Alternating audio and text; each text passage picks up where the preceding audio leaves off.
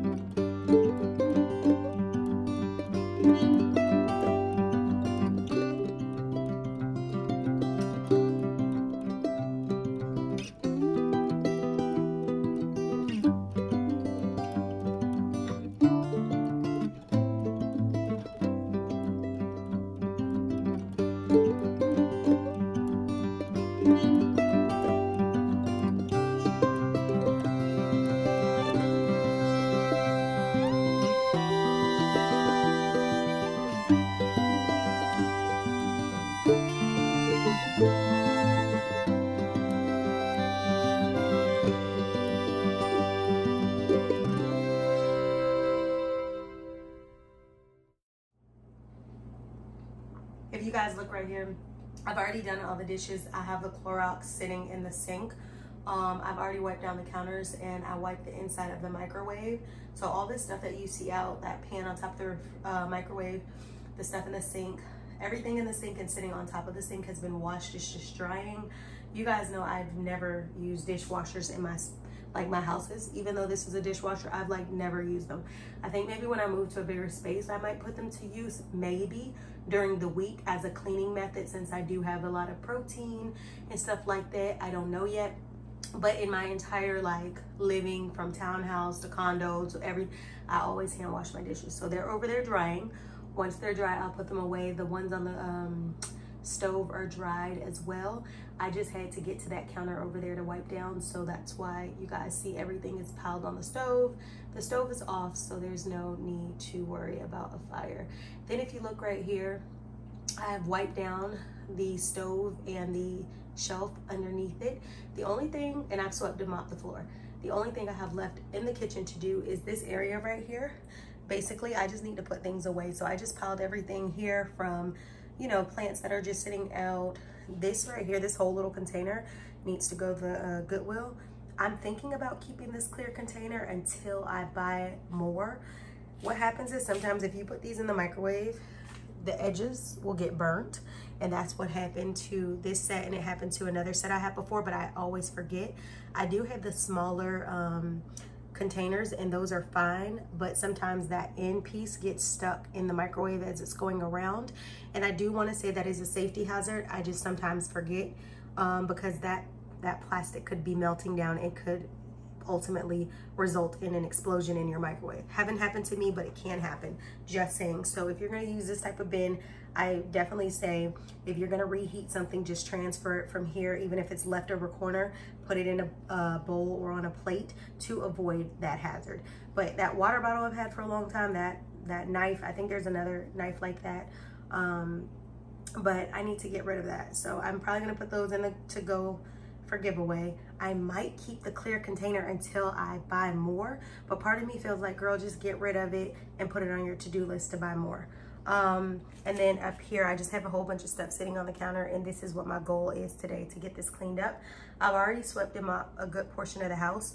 Um, the bathroom is swept and mopped, the living room was swept and mopped, the kitchen is swept and mopped. So I'm really good on track for my cleaning up. So I'm gonna get back to cleaning and just wanted to fill you guys in as I'm doing so, so you guys can be up to date with my Sunday room clean, Sunday cleaning routine. I know it just looks a mess how this is all piled up here, but hey, you gotta move stuff out the way to get to the spot that you need. So stay tuned and I'm gonna keep cleaning my Sunday routine. I'm drinking ginger ale and water right now, but soon I really feel a glass of wine coming. So I'll keep y'all tuned in. Stay tuned.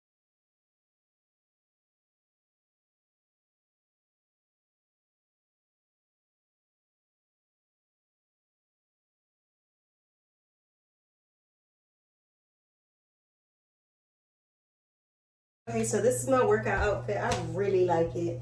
It says no days off. This is a size small for anybody who's wondering. But if you look at the belt line, like the band line right here, it says no days off. And I have on like some seamless underwear. Are they seamless here?